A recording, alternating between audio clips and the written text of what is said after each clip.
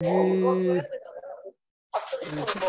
선생님들께서 수업을 하는데 애들이 낯선 행동을 한다고 하셨는데 그거 그 부분은 제가 여기 올려놓지는 못했어요. 근데 실은 이 요 도표를 좀 유심히 봐주실 거를 부탁드릴게요. 요거는 제가 직접 만든 도표고요.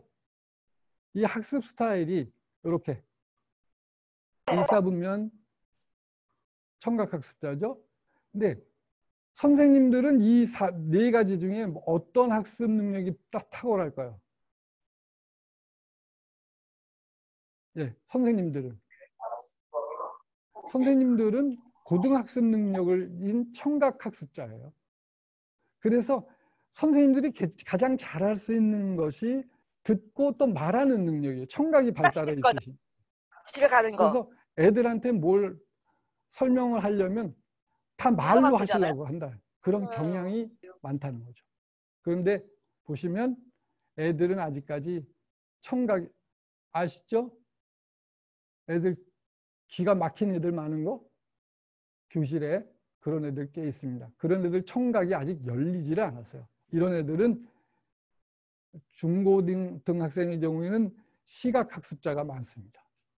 그리고 여기 초등의 경우는 시각보다 오히려 이렇게 신체, 머리, 어깨, 무릎, 발, 이렇게 몸을 움직여야 애들.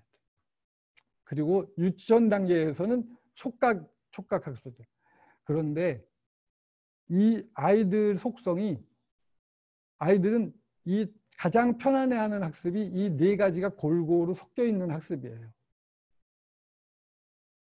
그런데 선생님의 학습이 청각에만 의존하면 애들은 어, 연식 여기 애들은 요, 이 시각이나 신체 촉각 학습을 고루고루 사용해 주셔야만 선생님 수업이 편안한 걸 느끼실 수 있어요. 그러니까 심지어는 고등, 고등학교에서도 제가 이제 고등학교에서 절반, 중학교에서 절반 있었잖아요. 근데 고등학교 애들 중에도 수준이 하인 아이들, 그 학습, 일반적인 학습, 어떤 그 고등학교 정규 과정을 밟을 수 없는 애들, 그런 애들은 촉각이 아직도 살아있는 애들이 있어요. 그래서 공부가 안 되는 애들은 뭔가 고등학생임에도 불구하고 오리고 붙이고 뭐 이렇게 손 만지고 하는 그런 수업 방법이 필요합니다. 선생님도 거기까지 아직 생각 못 해보셨을 것 같아요. 이번 일정 연수 하시면서 어, 좀 그런 생각을 좀 해주시면 좋겠다 싶습니다.